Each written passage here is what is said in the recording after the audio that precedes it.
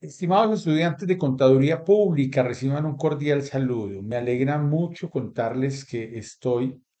emocionadísimo revisando sus videos. Me encantó esto de la semana número 2, la forma como diferentes personas afrontaron pues la actividad. Paola Andrea, muy bien pues por eh, ser de las primeras que siempre entrega. El señor de los aguacates, espera un momentico. Bueno, qué pena, ya se fue el señor de los aguacates y la papaya melón.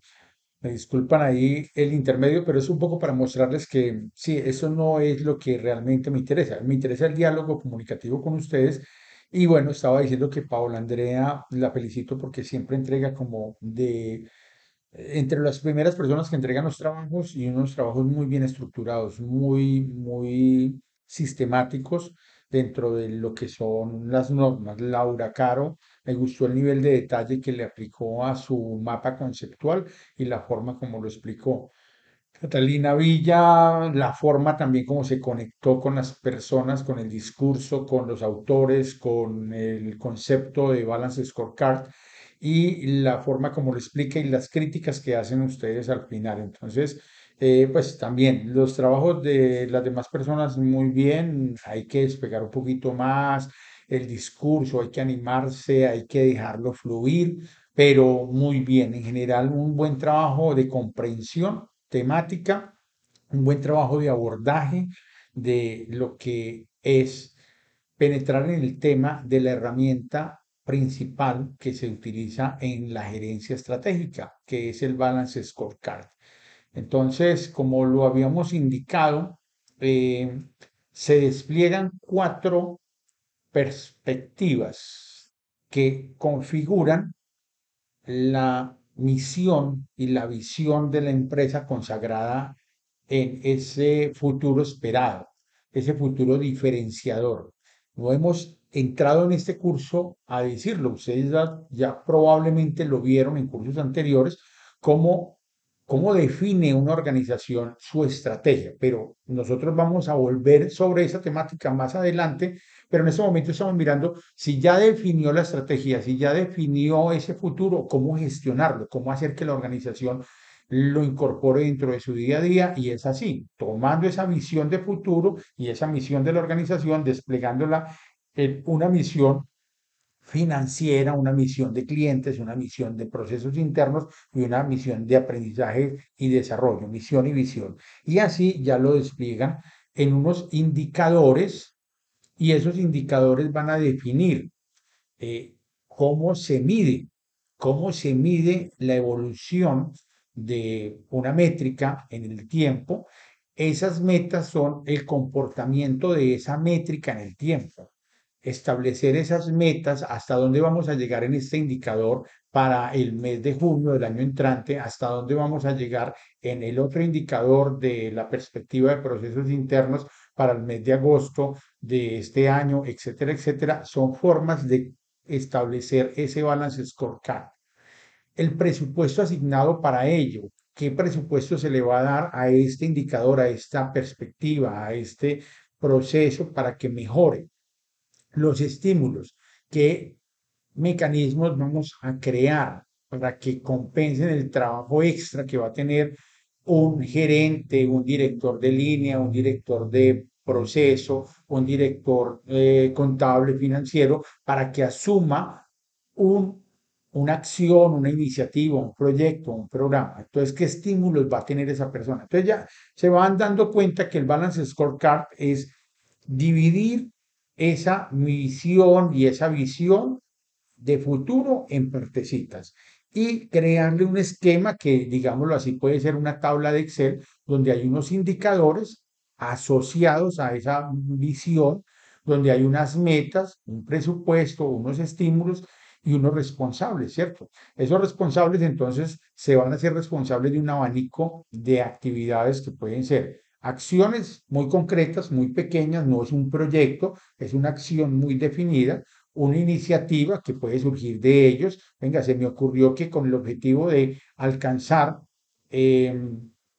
un indicador definido en el Balance Scorecard, yo inicio esta actividad que no es un proyecto como tal, tampoco es una acción concreta, pero son varias acciones que las configuro como iniciativa o algo ya más complejo que requiera un presupuesto mucho más estructurado, un trabajo aparte, un trabajo extra que se denomina un proyecto o un programa que es un abanico de proyectos. Ya hay unas organizaciones donde dicen, no, tenemos la necesidad para lograr ese indicador dentro del Balance Scorecard definido, dentro del cuadro de mando integral definido para mi organización, necesitamos no solamente uno, sino varios proyectos. Es decir, vamos a, necesitar un abanico de programa o programas.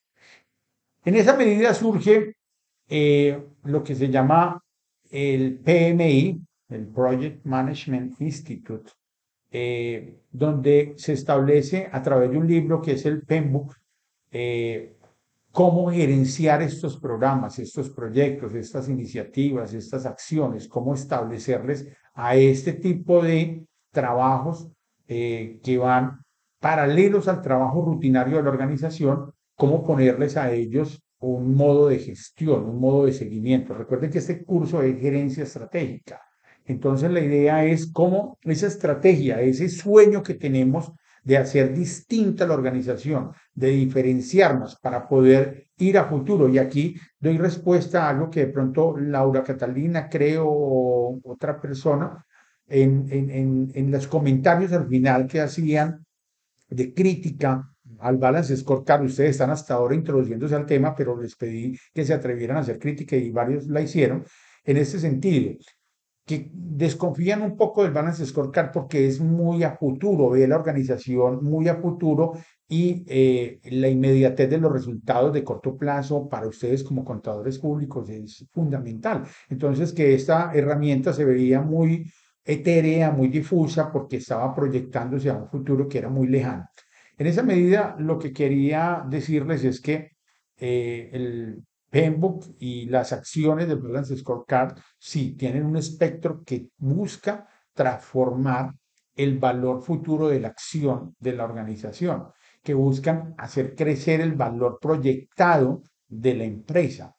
porque es realmente el activo más grande, más que el dividendo que me entregan en el mes de marzo en Estados Unidos o en Colombia, o en el mes de marzo es el mes donde liquidan lo que se hizo en el ejercicio del año anterior y donde entregan el dividendo y muchas organizaciones y muchos inversionistas se fijan solamente en eso. Pero los grandes inversionistas, las personas que están interesadas realmente como socios de las empresas, quieren es que crezca el valor de su acción, que crezca en la valoración de la empresa para que gane su capital, ¿cierto? Mejoras en la venta de sus acciones o que su mismo capital se incremente, su ganancia se incremente en la medida en que pueden hacer operaciones con mayor cobertura eh, de proyección de valor futuro de las empresas. Es lo que busca realmente en la planeación estratégica y la gerencia a partir del Balance Scorecard y a partir del de, eh, PEMBOK o, las estrategias de proyectos que se lleven a cabo. En esa medida, entonces, lo que quiero que hagamos ahora, ya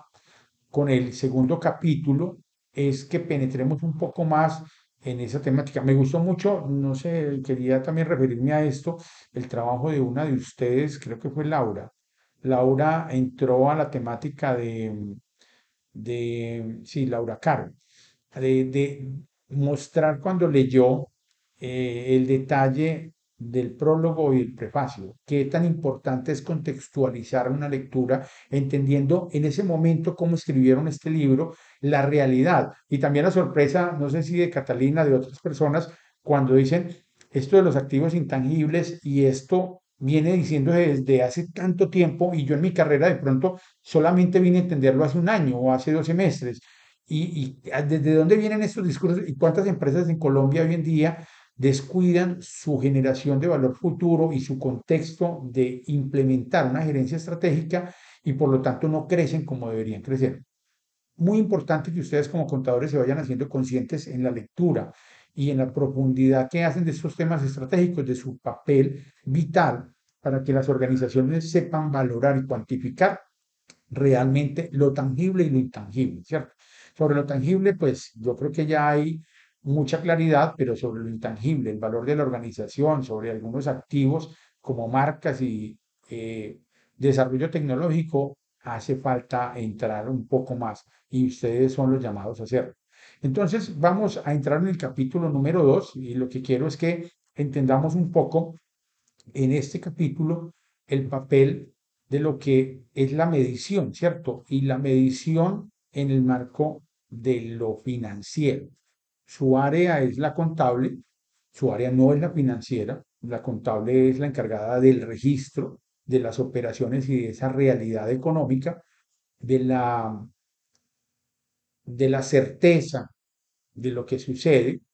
pero en lo financiero se mueven unas agilidades que tienen que ver con los costos a nivel de operación y también con la forma como se apalanca la organización o cómo utiliza su superávit. Cuando hay déficit, cómo se apalanca para generar valor. Cuando hay exceso o hay superávit, cómo hacer para reinvertir en ella misma o para ubicar esto en lugares donde le genere mayor rentabilidad. Pero el tema del cuadro de mano integral entonces va un poco más allá en esas métricas y lo que nos ayuda es a cultivar ese valor de la organización, a entender por qué gerenciar la estrategia es fundamental para proyectar ese valor de la organización. Aquí hay unos ejemplos de introducción muy interesantes, sobre todo la EPMC, esta corporación agraria, agrícola, pues del sector eh, en Estados Unidos en esa década del 70-80, eh,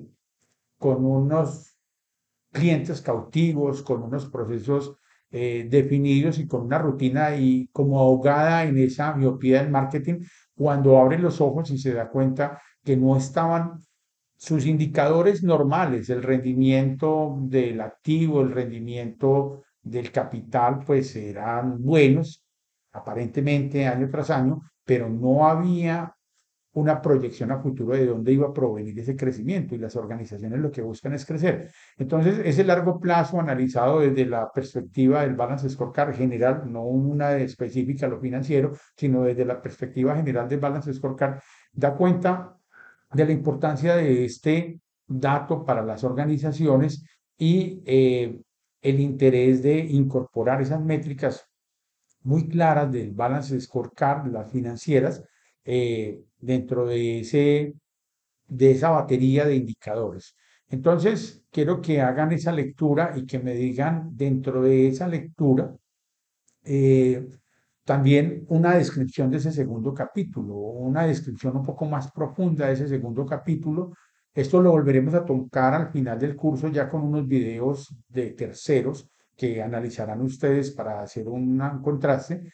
eh, pero quiero que hagan una profundización un poco mayor que lo que hicieron en el video anterior y que entren a cada una de las cuatro perspectivas y que identifiquen, sobre todo pues con esta última página del capítulo número 2,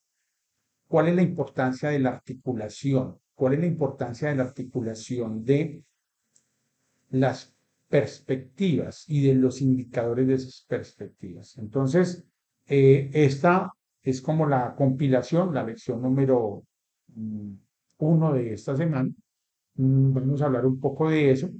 y ya luego vamos a, a mirar cómo complementamos el trabajo. Ya en el video siguiente les explico cómo complementar ese trabajo que va a ser los primeros cinco minutos, esa descripción de, estos, de este capítulo y eh, ya les diré cuál es la segunda parte para el trabajo de esta semana.